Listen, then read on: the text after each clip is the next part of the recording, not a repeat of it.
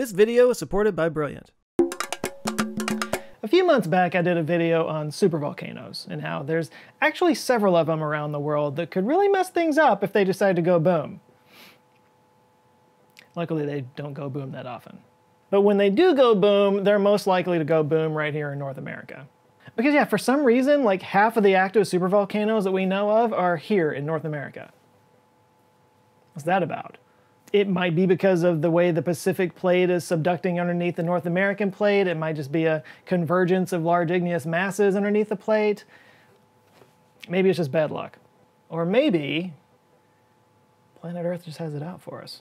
The last option is probably unlikely because we're so small and the Earth is so not a conscious thing. But if there was something that the Earth had out for us, supervolcanoes probably wouldn't be the best proof of that. Because like I said before, they don't go boom that often. But something that does happen often, like hundreds of times a year actually, is tornadoes. They too are a destructive force, and they too happen a lot more often in North America. And not by a little bit either, like a lot more often. So yeah, what's that about? Growing up in Texas, tornadoes are just a part of life. We had tornado drills in school. The local weather guy's a friggin' hero. And we all know the panic that goes off in your chest when you hear that tornado siren go off. And we all grew up hearing stories about the big one. Where I grew up, the big one was Terrible Tuesday. Also known as the Red River Valley tornado outbreak, this was a storm system that formed on April 10, 1979 that spawned 59 tornadoes over the next two days, including two F4 tornadoes, one of which cut a mile and a half wide swath through the center of Wichita Falls, Texas that killed 42 people and caused $400 million in damage. This event left a giant scar on the psyche of that whole area for decades. Growing up around there, you always knew that nature was in control and that every storm had the potential to go sideways and ruin your life. And if you grew up in Texas or the Midwest, you probably grew up with your own big one story that scared the bejesus out of you. I actually think it's really funny when Texans say that they don't want to go to California because of the earthquakes, and I'm like, uh, okay, but here the sky can eat your house. Anyway, I kind of realized at one point that all the major tornadoes that I'd ever heard of were here in the United States. Like, I've never heard of a tornado in Europe my entire life. And yeah, any European friends that I know, you know, I would say something about it and they just kind of be like, yeah, I mean, I guess it happens sometimes. Like it happens, but it's not like a part of their lives. So that's kind of what led to this video. You know, what is it about the United States that seems to just attract tornadoes? Like sailors to your mom. Turns out it's all about geography. And to be clear, there are tornadoes all around the world. They just seem to happen a lot more often here and they're much stronger here in the US. It is a very specific to the United States kind of problem. So put on your ruby slippers and click them three times as we get caught up in a whirlwind of tornado knowledge. But first we have to understand how tornadoes form and what conditions make them possible. Every tornado is different, but generally there are some common factors that lead to them forming. These include abundant low-level moisture, which contributes to thunderstorm development, and a trigger, such as a cold front or low-level zone of converging winds to help lift the moist air up. And this rising moist air can create spinning vortices at the back of the updraft. And from there it does get a little tricky, so I enlisted the help of Hank Schyma, also known as Pecos Hank here on YouTube.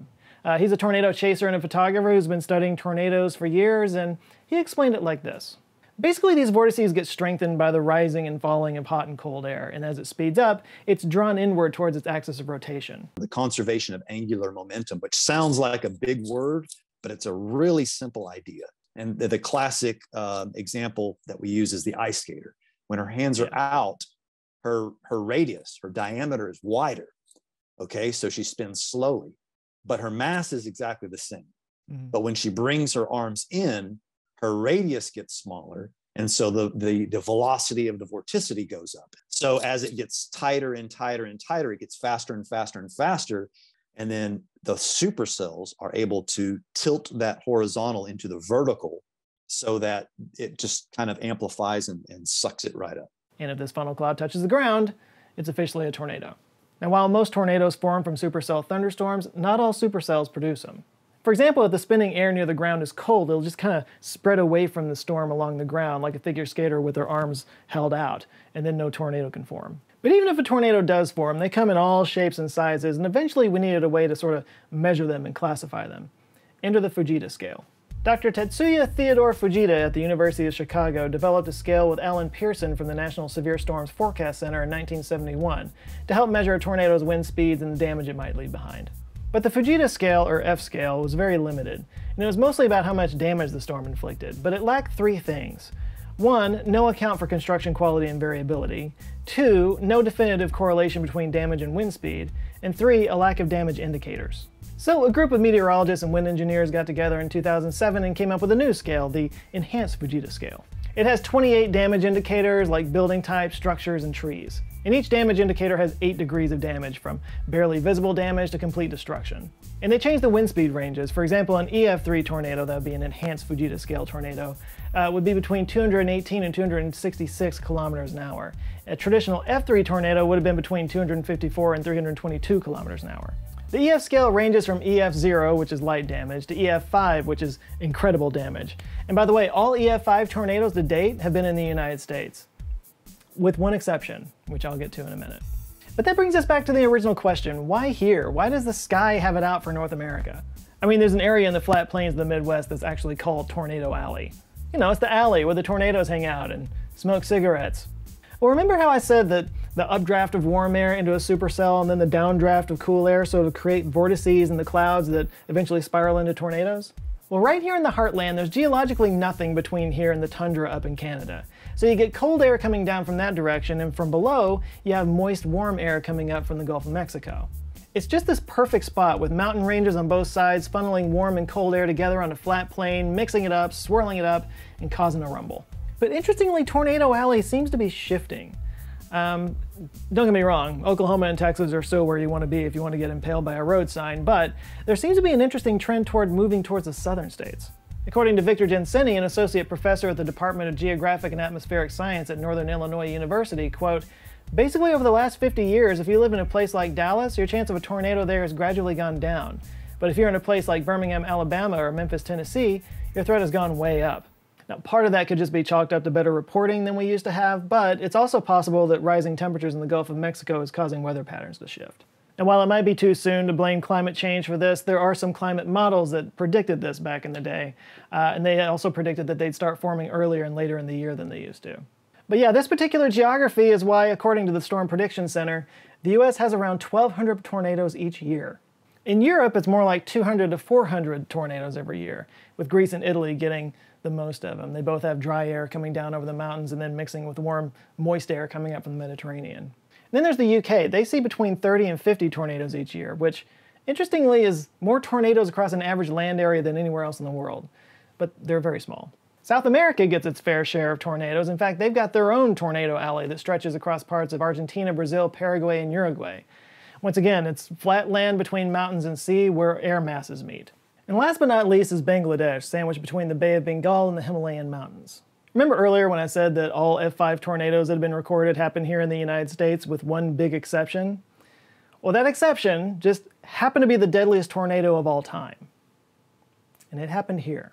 It's called the Daulatpur Saturia tornado, and it took place on April 26, 1989. It was a massive F5 tornado that tore through a densely populated area and killed 1,300 people, more than twice as much as the second deadliest tornado. That was the infamous Tri State tornado from March 18, 1925, that went 219 miles across Illinois, Indiana, and Missouri, making it the longest in world history. It killed 695 people, injured more than 2,000, and 15,000 homes were destroyed. Tornadoes have occurred in the Middle East, but that's rare. Big countries like Australia, China, and Russia have more land for tornadoes to touch down, uh, and they also have some areas like our Midwest here in the US where tornadoes happen more often. Now, you might have heard that tornadoes rotate in the opposite direction in the southern hemisphere. That sounds like an old wives' tale, but it's actually true. Generally, tornadoes spin counterclockwise in the northern hemisphere and clockwise in the southern hemisphere, though not always. Sometimes they do spin in the opposite direction. Those are called anticyclonic tornadoes. So, yes, tornadoes do happen all over the world. But what about other worlds? Like we've seen dust devils on Mars, which are kind of like the desert tornadoes that we have here on Earth, but with only 1% of the atmosphere, so they don't pack a lot of punch.